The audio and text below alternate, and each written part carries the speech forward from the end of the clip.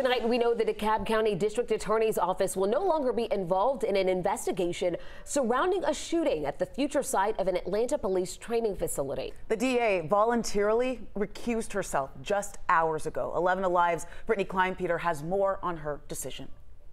District Attorney Sherry Boston says she feels recusing herself is the right thing to do and avoids any appearance of impropriety. I intend for the investigation to be impartial and therefore I am removing myself from the situation. DA Boston says the recusal only impacts the investigation of the shooting that led to a Georgia state trooper being rushed to the ICU and protester Manuel Paez Terán being shot and killed at the future site of the Atlanta Police Training Facility, which protesters have called Cop City. I hope that what this instills with um, protesters on the ground is that this will get a full, fair, impartial, and independent look which I think is, is important for our community and for everyone um, that is mourning the death of Manuel. Boston says this is the first time she has ever recused herself from a case, adding that her office will still be involved in handling cases currently filed against Cop City protesters arrested in DeKalb. My decision is based upon several factors, including our ongoing involvement